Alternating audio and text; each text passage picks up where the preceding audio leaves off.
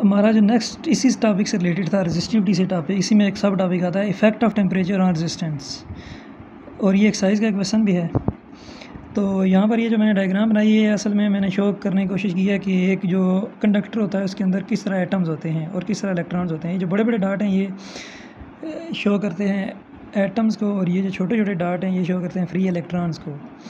तो यूजली ये देखा गया है कि जब टेम्परेचर कम होता है तो ये जो एटम हैं क्रिस्टल के या कंडक्टर के अंदर जो एटम्स हैं, ये सारे वाइब्रेट कर रहे होते हैं। वाइब्रेशन हम समझ सकते हैं, ये इधर इधर लेफ़्ट राइट अप डाउन ये वाइब्रेशन कर रहे होते हैं। और जब टेम्परेचर कम हो तो इनकी वाइब्रेशन कम होती है, जब टेम्परेचर बढ़े तो इनकी वाइब्रेशन भी बढ़ जाती है। अब ये वाइब्रेशन कम होने से या ज़्यादा होने से क्या फ़र्क पड़ेगा?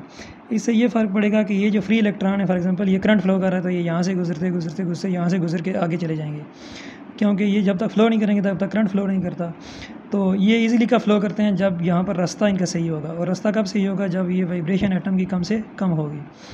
अब जो जो वाइब्रेशन बढ़ती है तो यहाँ पर ये रास्ता नैरो होना शुरू हो जाता है और इलेक्ट्रॉन यहाँ से मुश्किल से गुजरेगा। ये तो एक एटम की हम बात कर रहे हैं, यहाँ तो बहुत सारे वाइब्रेट कर रहे हैं। फिर उसके बाद ये इलेक्ट्रॉन जो है, इनकी स्पीड भी बढ़ती है। क्योंकि इनकी स्पीड जो है वो टेम्परेचर के प्रोपोर्शनल है। तो जब स्पीड बढ़ेगी तो ये आपस के साथ ज़्यादा टकराएँगे और इनकी जो मोशन है वो वाई वाइलेंट हो जाएगी मतलब बड़ी अजीब गरीब सी हो जाएगी। तो जो जो टेम्परेचर बढ़ता है वाइब्रेशन भी बढ़ती है और कुलाइन भी बढ़ते हैं। तो वो जो कुलाइन बढ़ते हैं, उसी को हम कहते हैं रेजिस्टेंस तो इससे ये पता चलता है कि जो जो टेम्परेचर बढ़ता है तो एटम की वाइब्रेशन बढ़ती है। वाइब्रेशन बढ़ने से कुलाइन बढ़ते हैं और कुलाइन बढ़ने से हम कहते हैं कि रेजिस्टेंस बढ़ रही है। अब हम क्या करते हैं, यहाँ से डिफ़ाइन करते हैं कोई टर्म्स एक यहाँ पर टर्म आती है temperature coefficient of resistance alpha वो क्या होता है? तो उसके लिए फार्मूला हमने ड्राइव किया है कि पहले स्टार्ट में जो कंडक्टर है, उसका टेम्परेचर जो है वो ज़ीरो है। तो उस टाइम एक जो रेजिस्टेंस होगी वो आर नाट होगी। फिर वो टेम्परेचर बढ़ के कुछ ज़्यादा हो जाता है ज़ीरो से ज़्यादा मतलब एक सेंटीग्रेड या एक kelvin two kelvin three four five six seven eight nine जो भी है, उसकी वैल्यू टी हो जाती है ज़ीरो से ज़्यादा। तो उस टाइम जो रेजिस्टेंस होगी वो क्या हो जाएगी? आर टी अब टेम्परेचर चेंज होने से रेजिस्टेंस जो चेंज हुई है, उसको हम किसे शो करें? Del are. डेल आर हो जाएगा R T minus R naught. और टेम्परेचर कितना चेंज हुआ है? Del T. Final minus initial T minus zero तो वो टी हो जाएगा। अब देखा यह गया है कि जो रेजिस्टेंस में चेंज आ रही है, डेल आर, वो जो री इनिशियल रेजिस्टेंस है, उसके प्रोपोर्शनल है। इनिशियल रेजिस्टेंस ज़्यादा होगी तो चेंज भी ज़्यादा। उसके बाद दूसरी चीज़, जब टेम्परेचर ज़्यादा चेंज होगा तो रेजिस्टेंस भी ज़्यादा चेंज होगी, बढ़ेगी, जो कि हमने अभी डिस्कस किया है। अगर ज़्यादा टेम्परेचर कम होगा तो रेजिस्टेंस भी कम होगी। अगर हम इन दानों कम्बिनेशन को इकट्ठा करें, दानों रिलेशन को, जैसे हमने कुछ देर पहले भी किया था तो डेल आर इस पर point del T into R naught तो उसके बाद अगर हम इनकी वैल्यू पुट करें R T minus R naught और इक्वल भी लिखें तो ये प्रपोजनल था, ये कांस्टेंट है, इसको अल्फ़ा पढ़ते हैं। और ये डेल टी की वैल्यू स्मॉल टी टेम्परेचर है, और यहाँ पर आ जाएगा आर नाट फिर इसको रीअरेंज करें तो ये फॉर्मूला आ जाता है।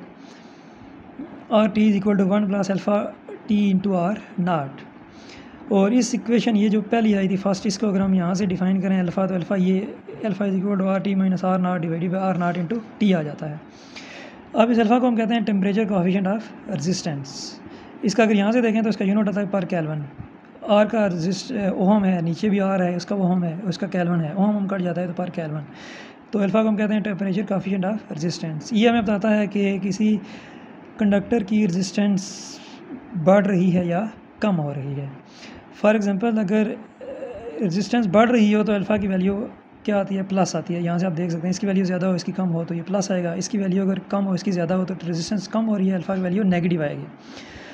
तो देखा यह गया है कि जो सेमी कंडक्टर्स हैं, जैसे सिलिकॉन जर्मीनियम इनकी जो रेजिस्टेंस है वो टेम्परेचर बढ़ने से कम होती है। और वो कंडक्टर बन जाते हैं, इसलिए हम उनको सेमी कंडक्टर कहते हैं। इसलिए उनकी अल्फ़ा की वैल्यू क्या होती है? नेगेटिव होती है। उनका जो अल्फ़ा है वो तो यहाँ पर एक क्वेश्चन भी है कि why some substance have negative temperature coefficient तो उसका आंसर क्या है?